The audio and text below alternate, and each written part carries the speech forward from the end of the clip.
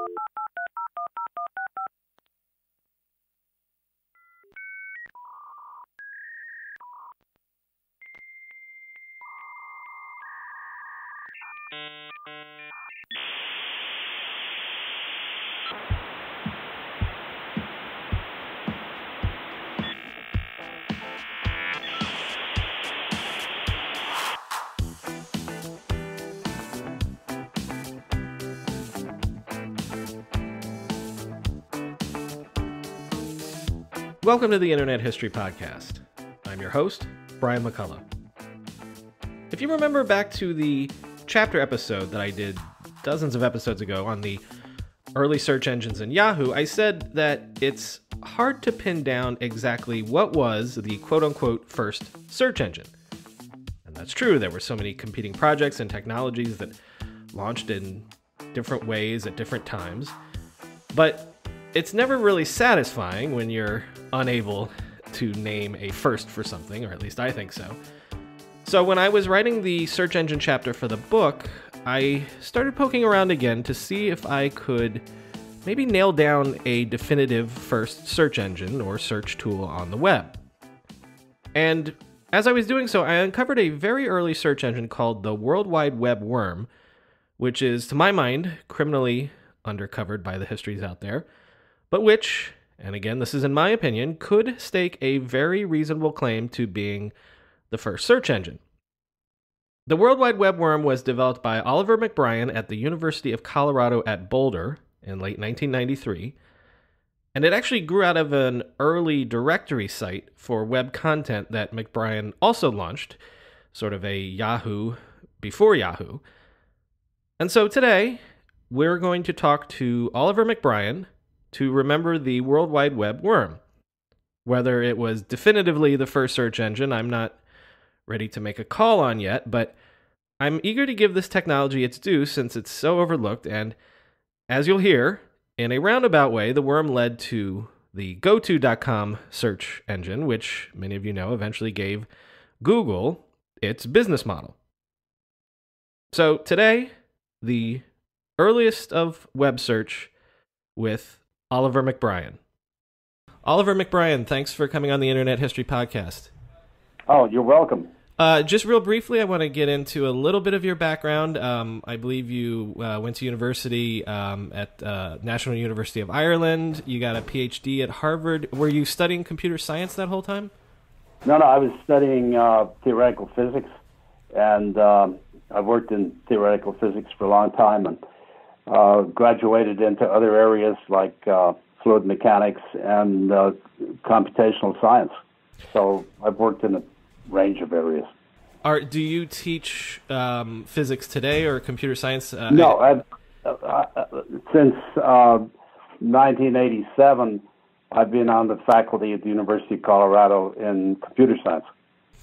So, um, you did you have a lot of experience with the the pre-web internet?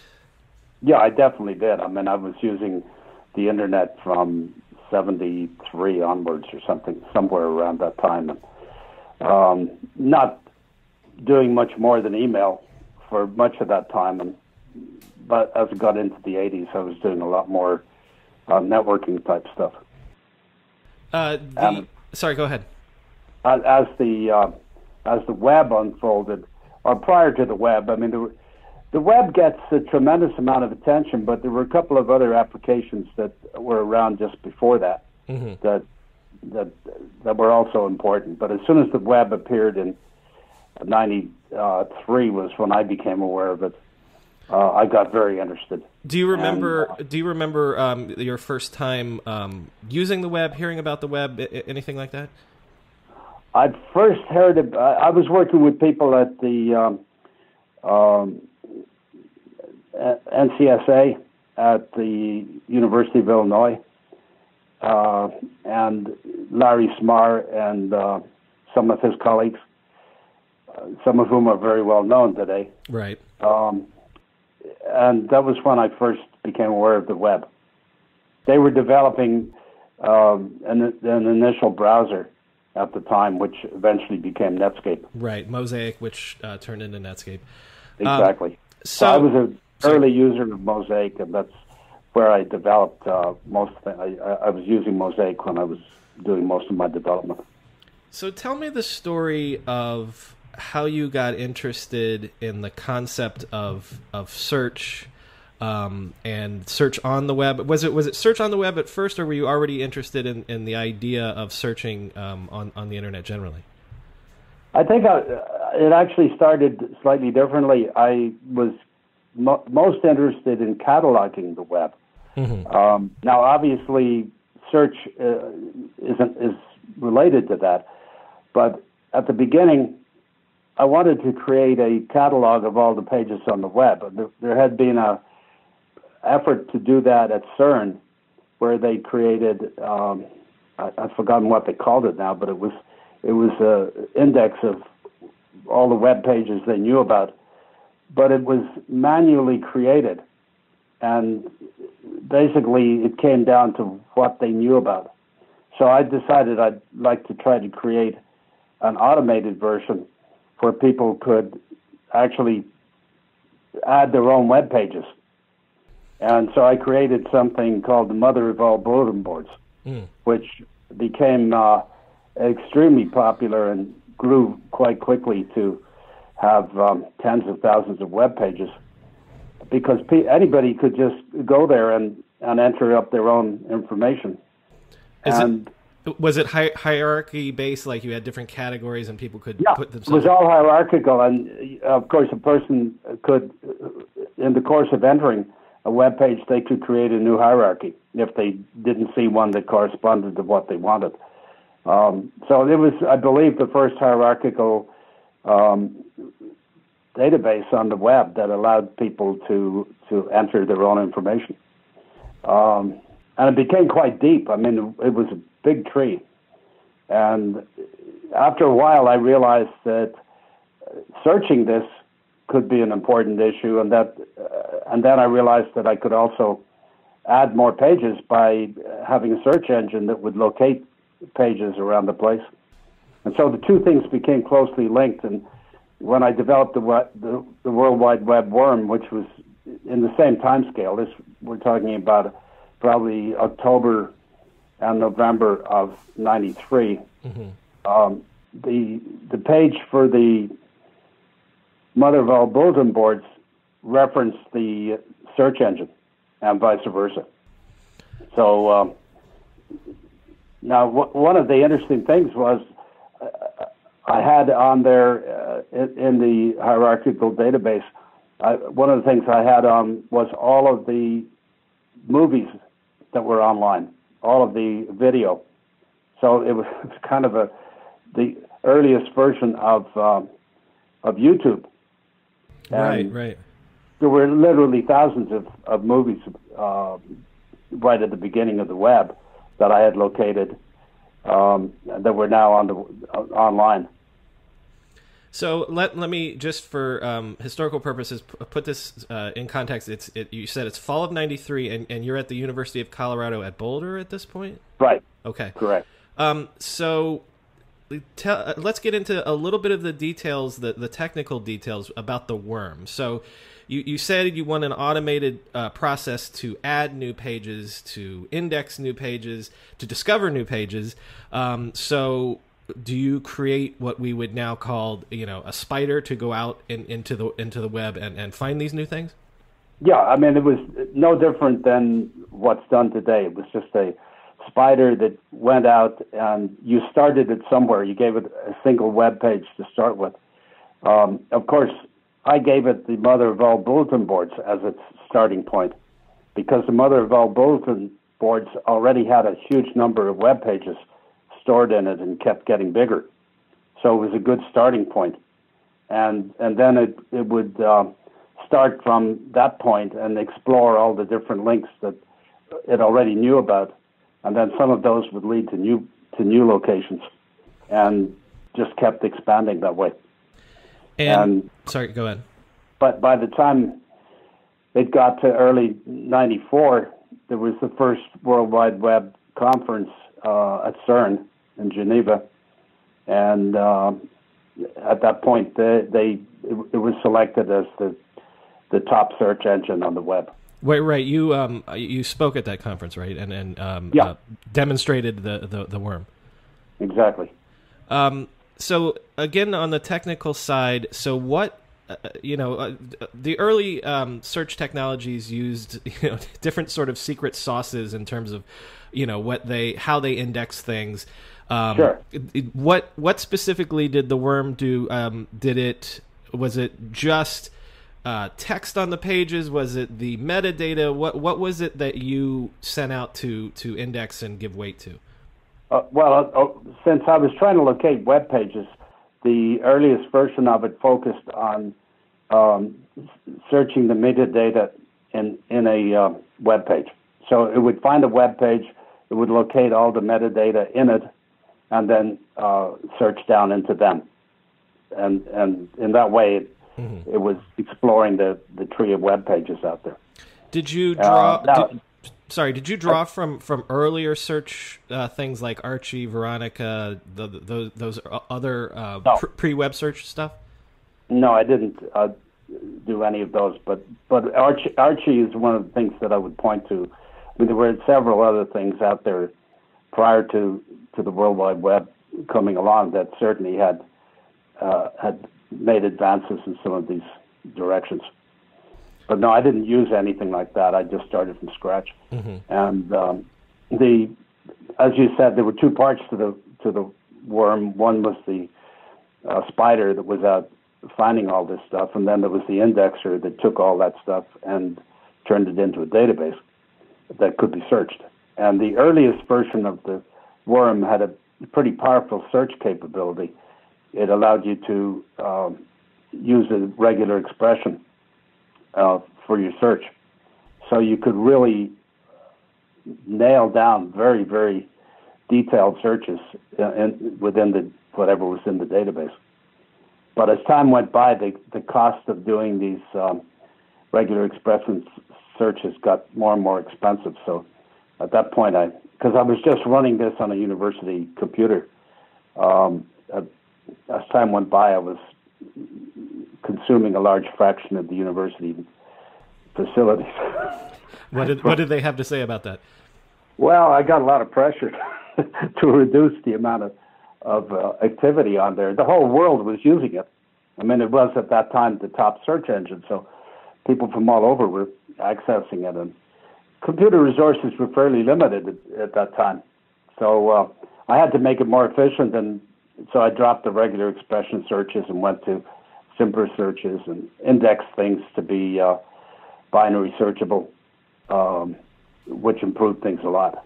Can you please And then the other the other thing I would would say was the results of the searches uh, looked extremely like Google even today, and most of the other search engines that came out subsequent to that uh, were much more complicated.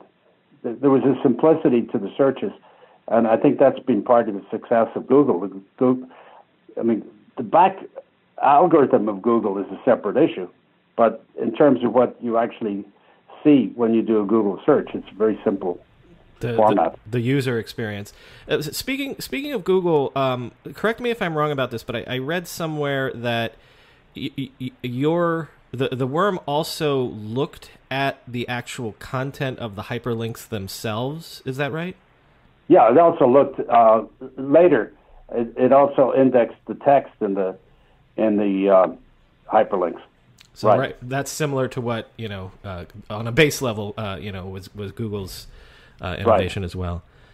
Um, so I so you you create this in the fall of '93. Um, uh, is it released in '94? Like when when would um, the general public be able to to use it?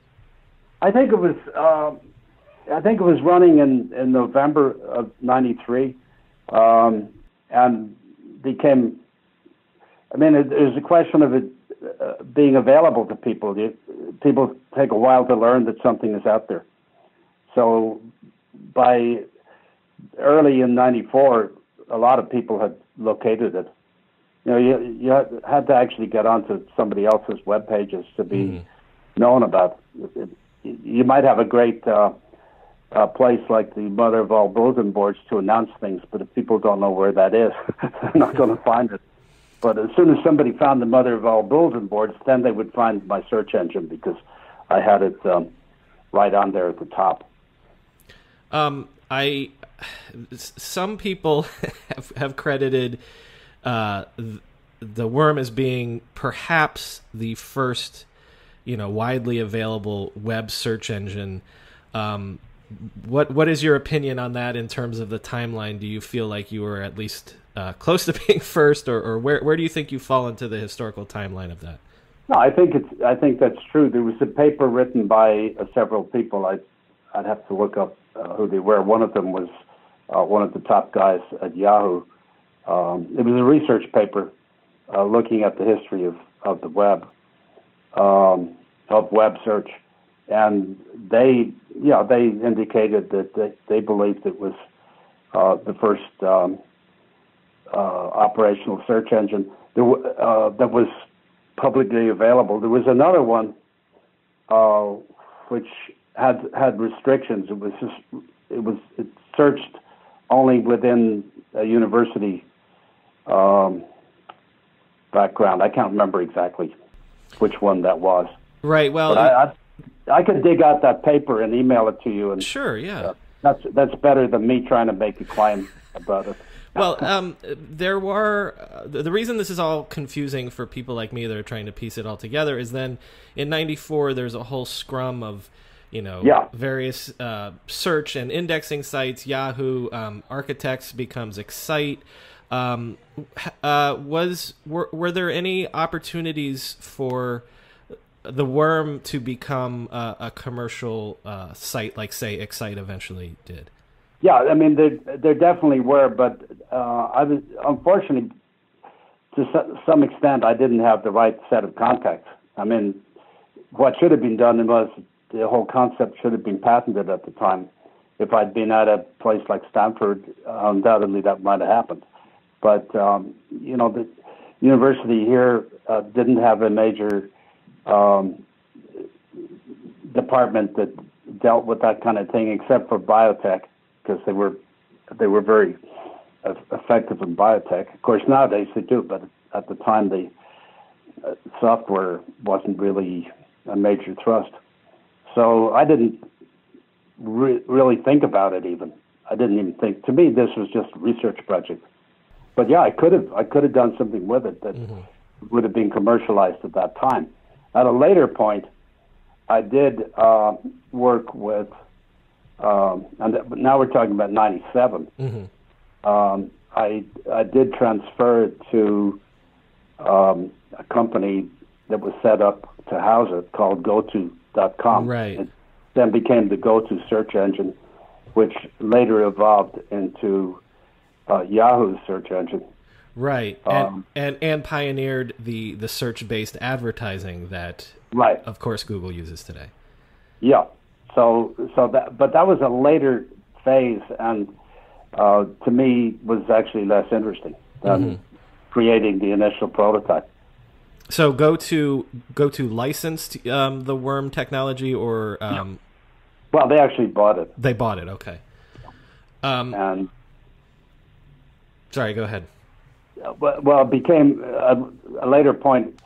It, the name was Overture. It right. changed from GoTo.com into Overture. Right, right, right. Um, so you um, you've uh, you've remained an academic to this day. You're still um, you're still teaching computer science and and uh, at the University of Colorado. Well, at this point, I'm emeritus faculty uh-huh. member, uh-huh. and but, yeah, I'm still on the faculty, uh, and I still I still do computing science work, and I've been involved in a number of patent suits um, that specifically use the fact that the uh, both the World Wide Web worm and the um, mother of all bulletin boards was there before Yahoo and some of mm-hmm, the other 2 mm-hmm.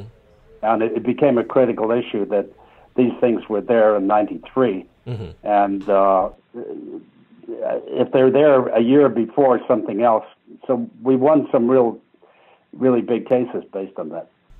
How so that, that was pleasing. that was really pleasing because to me it was a research project, and I it was kind of annoying to find uh, that somebody was suing somebody else based on work that was done later. Right, right. Um, uh, well, actually, that'll be my last question in a second. But first of all, um, how long did the World Wide Web worm run? Like, when when was the last point that I would have been able to to use it? You know, that's a good question because the, the university server just bogged down more and more, and at a certain point, uh, I, I shut it off. And somebody in Turkey actually made a copy of the whole worm, and it was running over there wow. um, for many years later. it was really strange because it acquired all these Turkish pages in there. Um, oh yeah, so there were several different things that happened like that. But the one other thing about the worm was that it was a it, it did, you could make um, duplicates of it and run it someplace else. So some organizations had it running internally just to uh, index their own web pages internally. So for all I know, some of them had it running much longer. But I I moved on and was working on other things mm-hmm. by this point. Well, um, as my final question, um, it's sort of related to what you've already said, but I've, I've asked several other people because so much of the search technology came out of academia and, and, and started as academic uh, problems to solve. Um, right. So, how do you feel about the fact that there's it, it created a whole industry, a multi-billion-dollar industry for something that seemed like it was just an, an academic exercise? Oh, I I think it's great. I mean, let, let me give you another example of something I did in '93. Uh, okay. Uh, the, the, university uh, had a thermometer uh, on the engineering building, and and I got I got that online, so that you could look up and see what the temperature was at any moment from a web page. And I don't think there was an example of something like that before. And look where that's gone now. Right, the Internet so, of Things. Yes, it's Internet of Things. So it's it's just was great fun to be part of the beginning of this whole thing, and um, I think where it's gone is fantastic. I, I do hope, and I I think it's true that those companies that are now making billions of dollars will feed some of it back into the uh, university uh, environments through grants or, um, or, or other mechanisms. Payback because they they have benefited enormously. Payback on the research, yes. It's payback on the National Science Foundation research. That's the bottom line. Yeah. And a couple of other, you know, Department of Energy research and uh, DARPA. Uh, well, that, that needs to be appreciated. I agree. Um, Oliver McBryan, thank you so much um, for coming on the podcast and um, remembering all that early history for us. Okay, it was a pleasure. If this is the first time you're listening to this podcast, please subscribe to us on your podcast app of choice. There's plenty more great internet history where that came from. And if you're a longtime listener, then you know what to do to help us out. Rate and review us on iTunes because iTunes gives credit to reviews and ratings, and the more great reviews we get, the more people will discover us. As always, there's more info on our website, www.internethistorypodcast.com. The show's Twitter handle is at NetHistoryPod, and my personal Twitter is at BrianMCC. Thanks for listening.